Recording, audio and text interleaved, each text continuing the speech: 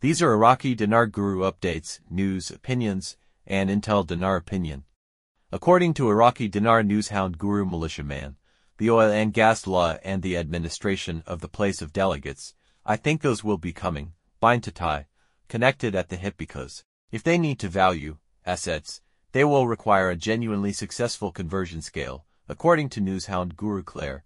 The article, World Bank, Iraq maintains its status within the upper middle income category. The bank went on to say that, based on per capita gross national income, it divides the world's economies into four income groups low income nations, lower middle income countries, upper middle income countries, and high income countries. The US dollar is used to express the gross national income metrics.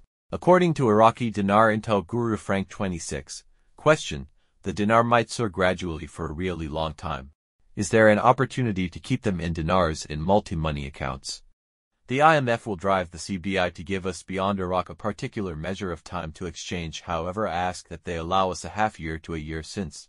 In such a case that they allow us one month to 90 days that is insufficient time IMO to exploit the float, according to Intel Guru Wolverine, there won't be a notification regarding the RV. The exchange alerts will suddenly appear out of the blue very soon, Payment is made to private contractors. I've seen the official documentation and signed contracts related to the reset. It's taking place.